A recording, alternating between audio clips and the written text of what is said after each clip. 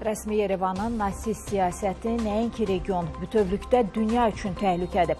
Bu fikirləri Polşanın paytaxtı Varşavada keçirilən ATƏT-in illik toplantısında Azərbaycan Slavyan Gənclər Assosiasiyasının sədri Səbuhi Abbasov deyib. Qurum rəsmisi çıxışında həmçinin dini və milli ayrı-seçkiliyi pisləyib və bütün dünyanı bu məsələyə qarşı diqqətli olmağa çağırıb. Bundan başqa toplantı iştirakçılarına ermənilərin girov götürdüyü Dilqən Əskərov və Şahbaz Quliyevlə bağlı məlumatlandırma aksiyası keçirilib. Azərbaycan 30 ildən çoxdur müharibə vəziyyətindədir. Torpaqlarımızın 20%-ni itirdik və 1 milyondan çox insan öz yurd yuvasından didərgün düşdü.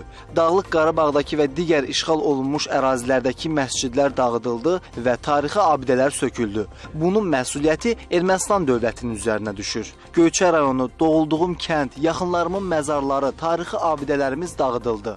Bu gün rəsmi Yerevan nasist siyasəti yürüdür. Beynəlxalq hüquqa zidd gedir və insan haqları hüquqlarını kobud şəkildə tapdalayır.